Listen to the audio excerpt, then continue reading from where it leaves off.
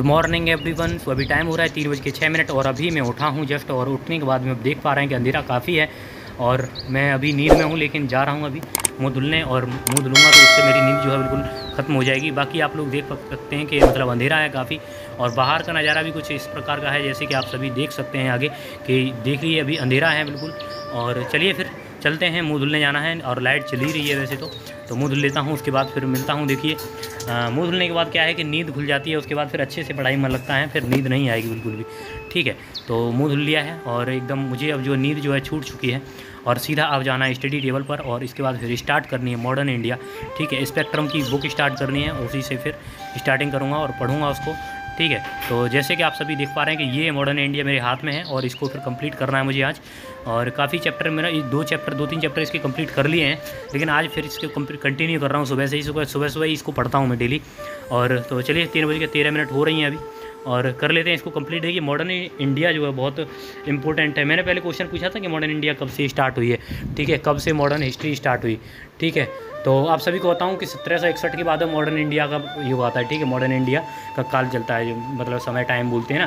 तो वो टाइमिंग जो है सत्रह सौ इकसठ से होती है। ठीक है सेवनटीन सिक्सटी वन से लेकर तो आपको पता चाहिए है वैसे काफ़ी लोगों ने मतलब अच्छे सही आंसर दिए, लेकिन कोई दिक्कत नहीं है। तो आप सभी ने बताया, बढ़िया है, लेकिन मॉडर्न इंडिया जो है, कब से स्टार्ट होती है तो आप सभी समझ चुके हैं।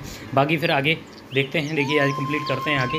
और इसमें जो मॉडर्न इंडिया में क्या है कि आप सभी को देख सक, देखने को मिलता है कि बहुत सारे बैटल हुए, ठीक है? इसके बाद में फिर इसी में आ जाता है किस प्रकार से इंडिपेंडेंस के लिए हम लोगों ने स्ट्रगल किया, सब कुछ इसी में आ जाता है, ठीक है? तो वो है सब कुछ इसमें।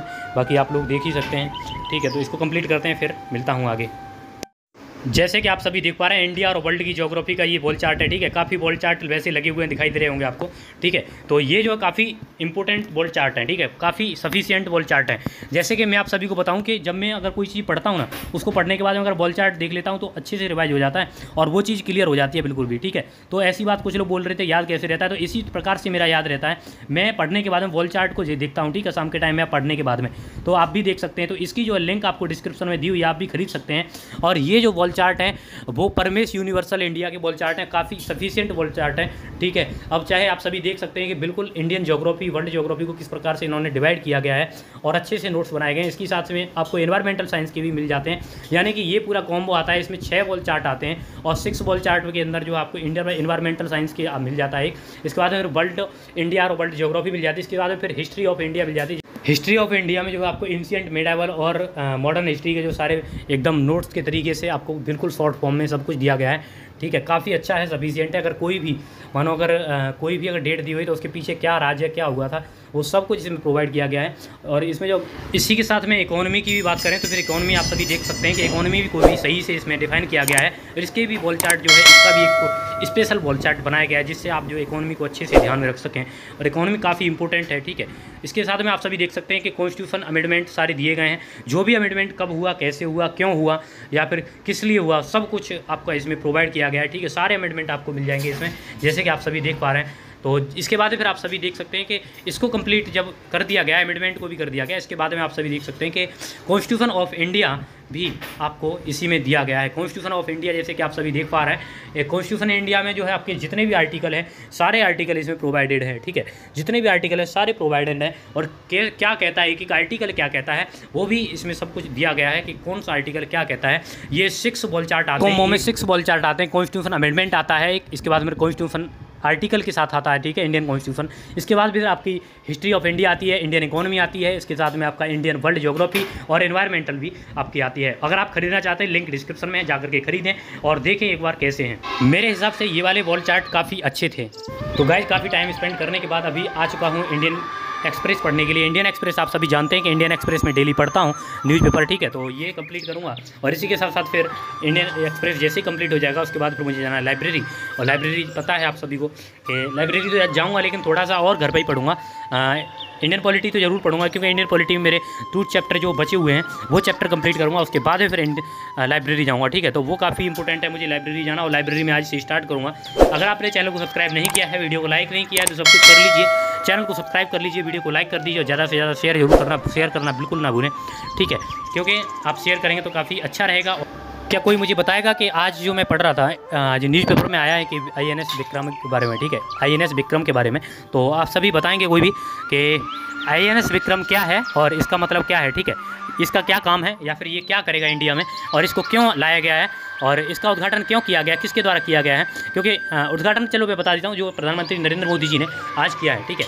तो आप सभी ज़रूर बताना उनके बारे में, ठीक है? तो इसको कंप्लीट कर लेते हैं। और इसको कंप्लीट करने के बाद फिर इंडियन पॉलिटी आ गई है मेरी। इंडियन पॉलिटी पॉलिटिकल पार्टीज़ आप सभी जानते होंगे।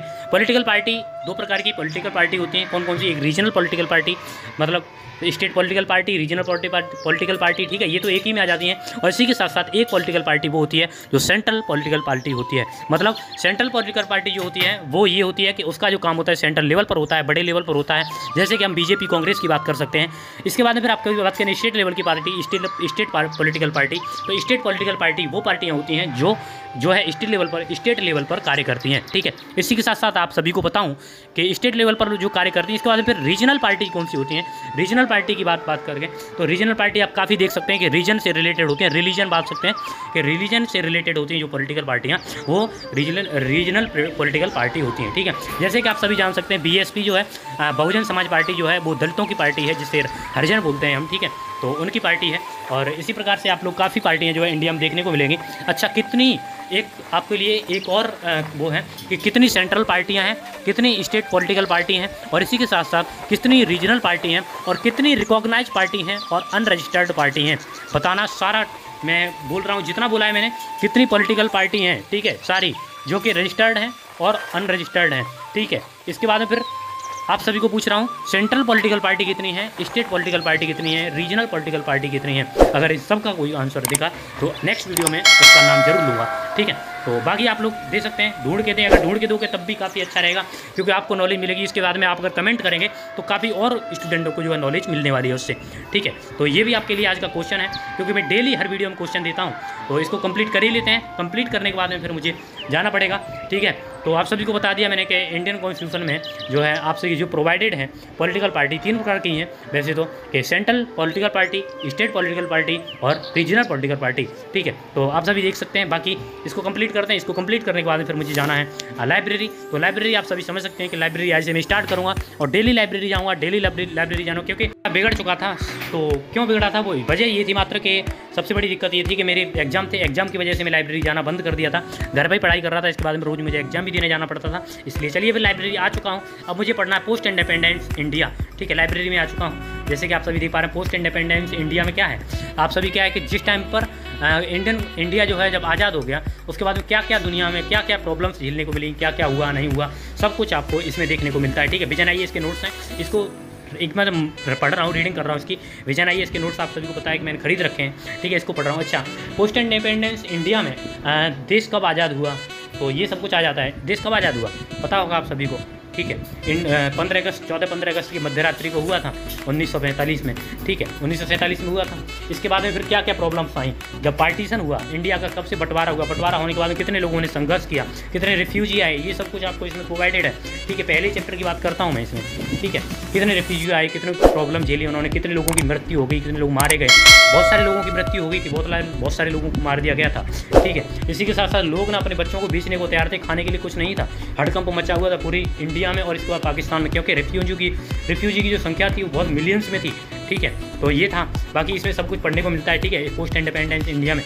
तो ये पढ़ रहा हूँ ठीक है? विजन आई इसके बाद इसको कंप्लीट कर लिया है मैंने। इसी के साथ में, अब मैं जो है जोग्राफी पढ़ूँगा। इलेवंथ क्लास की एन सी की जोग्राफी है, इसको कंप्लीट करूँगा, क्योंकि इसको तो कंप्लीट कर रहा हूँ मैं। क्या है रिवीजन कर रहा हूँ रिवीजन बोल सकते हैं, क्योंकि इससे पहले मैंने ऑलरेडी इसको पढ़ रखा है, ठीक है? काफ़ी इंपॉर्टेंट है, इसको कंप्लीट करने के बाद फिर जो है वीडियो को एंड करूँगा यहीं पर, और ये भी काफ़ी इंपॉर्टेंट है, ठीक है? तो आपने अगर वीडियो को लाइक नहीं किया, वीडियो को लाइक कर देना, चैनल को सब्सक्राइब नहीं किया, चैनल को सब्सक्राइब कर देना। और क्योंकि सब्सक्राइब करने से क्या है कि वीडियो जो है बहुत जल्दी जल्दी आएँगे और आप सभी को काफ़ी नॉलेज मिलेगी, ठीक है? और आपको बहुत कुछ सीखने को मिलेगा, ठीक है? तो आप लोग ज़रूर कर देना चैनल को सब्सक्राइब। बाकी वीडियो आपको मिलती रहेंगी, कोई दिक्कत नहीं है, ठीक है? और चल रहा है तो काफ़ी अच्छा चल रहा है, मैं लाइब्रेरी में आया हूँ। बाकी यहीं पर एंड करता हूँ वीडियो को। वीडियो को लाइक करना। और बाकी मिलते हैं नेक्स्ट वीडियो में, तब तक के लिए जय हिंद, जय भारत, वंदे मातरम।